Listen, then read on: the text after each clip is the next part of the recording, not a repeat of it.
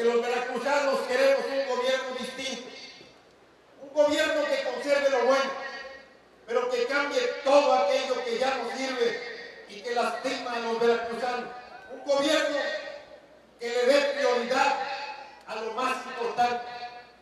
Y lo más importante es atender a la gente que menos tiene.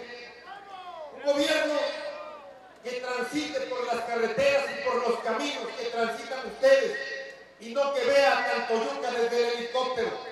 Un gobernador que ande a pie de tierra, que ande en camioneta, que vea cómo están los caminos y las carreteras.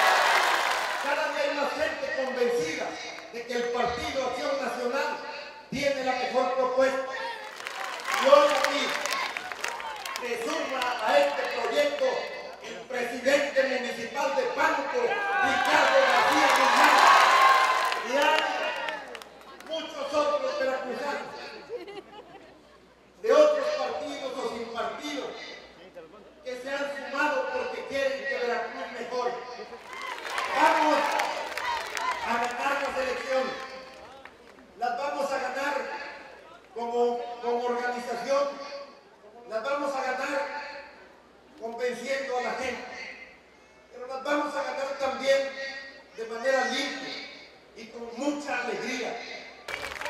futuro de Veracruz está en las manos